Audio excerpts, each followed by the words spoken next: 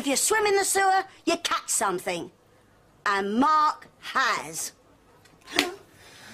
I went past her, her crying. Was you just busted in there? Look, let's go somewhere else. And She talk was about crying, this. left crying her eyes Phil, out. give it to me. What's going on? Look, let's go outside. Phil, please! No, no, no, you had your chance and you blew it. Look, give it to me. She's crying her eyes Give out! Mark. You stay out of it, you. Look, you've no right. No right, what are you talking about, no right?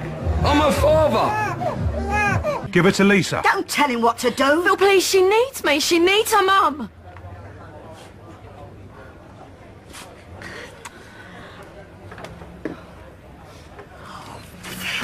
Phil, what are you doing? She's yours. You keep out of this, you nosy old cow. You're always sticking your snout in and ruining things. Your son stole my granddaughter. He did no such thing. He's been pretending she's his all along, walking around with a great big smug smile on his face, knowing that Phil was the father. That's not true. Well, I don't see him denying it, do you? Come on.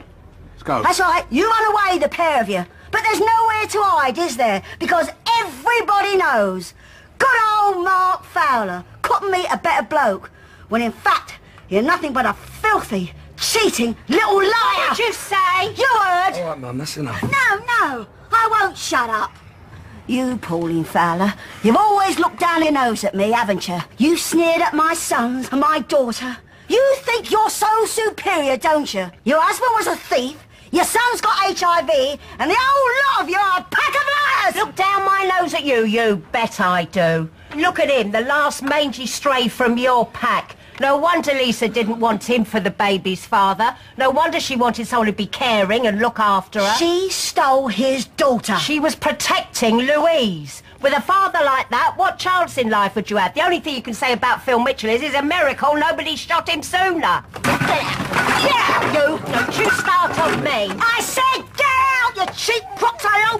crocodile bag! here. Oh, yeah? And watch this? Strawberry blonde at 70? That's real, is it? Shut up, I'm not 70. No, but you look it. I'll tell you what, Peggy Mitchell, you're filth. You had a villain for a son, a villain for a husband, and a fiancé who's a pervert. Do you think I'd let you near that little girl? Stop it! Get out! Stop it, the pair of you!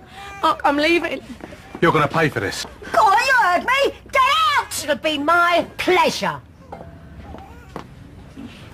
Should never let Steve Owen near that baby. No, too right he shouldn't. And of course he gets away with it. He's okay. Forget about Steve. We've got to find Lisa. Oh, who's that?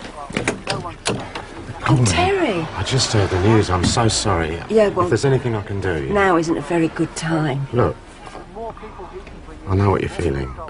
So, you know, just. All right, I'll, I'll let you know. Thanks. I'm going, Mum. Well, hang on, I'm coming with you. And what about me? Peggy, I should go back to the Vic. I am her grandmother. But you told me that Derek was going to sort out the music. Well, he's doing his best. Well, the greatest hits of Shanghai Lil. If anything's going to spoil the mood of the day, it's going to be that rubbish warbling out. Really, Peggy? I suppose it wouldn't have anything to do with the lack of food, would it? What are you thinking of giving them? Crisps? And what about the bunting? It's rotten. Absolutely rotten. Yeah, rotten, just like this party. Dodgy decorations, Japanese karaoke, fat lot of help you've been. I can't manage something like this without support. You couldn't manage anything at all. Go to hell. Believe you've managed to mess this up. If you can't organise a booze up in a pub, then what's the use? Look, I only took over because you kept running around in circles. Yeah, well, from the look of things, you'd be better off if you hadn't left it to me. You know what? I think you're really enjoying rubbing it in, aren't you? Look, if my Arthur had been here, he'd have been out there pulling in people off the streets. He'd had a brass band, streamers from one end of the square to the other. He'd have made this a day to remember. VE Day was a triumph. Then why did it go wrong for me? Because it was Arthur's party, because people round it... Go on. It doesn't matter. Because people love Arthur. No, they, they respected him. He'd been round here a long time. I know what you're saying. They do it for him, but they won't do it for me. Well, Pauline, you're his widow. Maybe they'll do it for you. You can have a lie down. Oh, Peggy!